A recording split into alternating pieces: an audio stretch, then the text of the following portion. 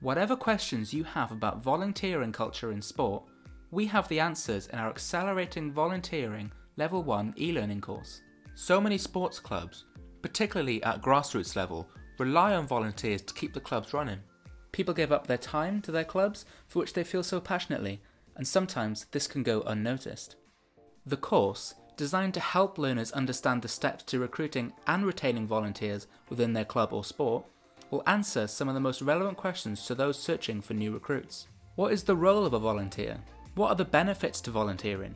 How can I recruit volunteers for my sport? As well as having these questions answered, learners on the course will work towards the following learning outcomes understanding the volunteering landscape in the UK, considering your club's current volunteering structure, learning some practical ways to recruit and retain new volunteers.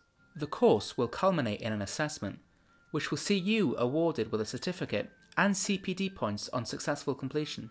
Enrol on the course today to accelerate volunteering within your sport.